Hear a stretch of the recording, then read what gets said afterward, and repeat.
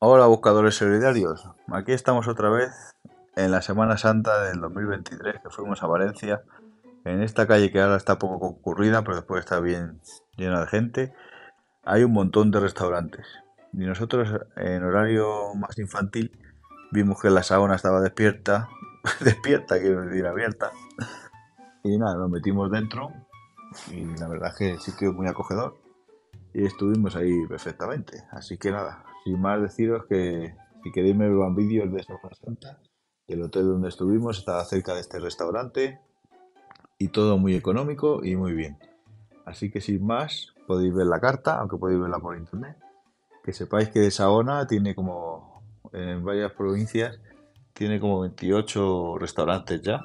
Están creciendo desde el 2013 y, y bueno, tiende a ser como un VIP, un Gino, pero de, baja, de bajo coste y de mejor calidad. Y sin más, pues aquí están las entrantes. Este es de salmón, crujiente de salmón, que estaba muy rico. Y un punto a su favor eran los macarrones del menú degustación de los niños, que como podéis ver tiene bastante lo que es comida, no los macarrones que se, se ponen en otros, que eso es lo que más me repatea a mí. Pido menú infantil y le ponen macarrones en cuarros.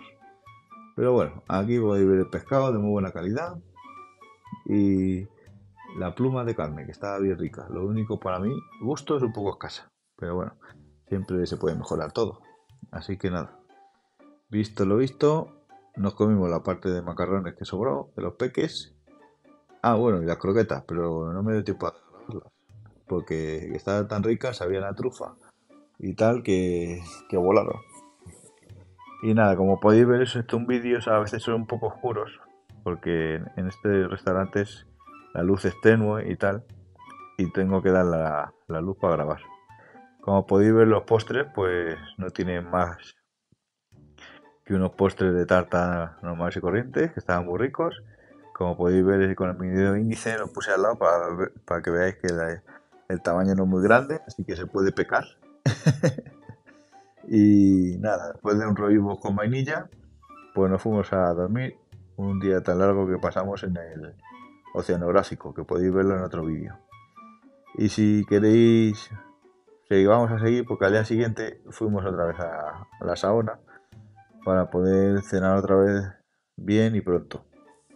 Tomamos un poco de humus, así que podéis ver dos días en uno en este vídeo.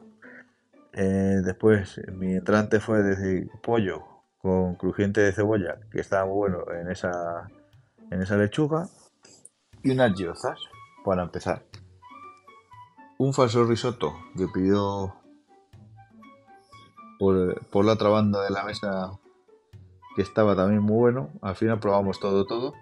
Y yo pues me balantoné a comerme eh, la hamburguesa vegetal vegana. Y como no se veía, pues ya sabéis que pongo la luz y así se ve mejor. Y nada, es que esto del tema vegano, pues si es vegano no sé por qué hacen hamburguesas, pero bueno, que cada uno coma lo que quiera en la vida.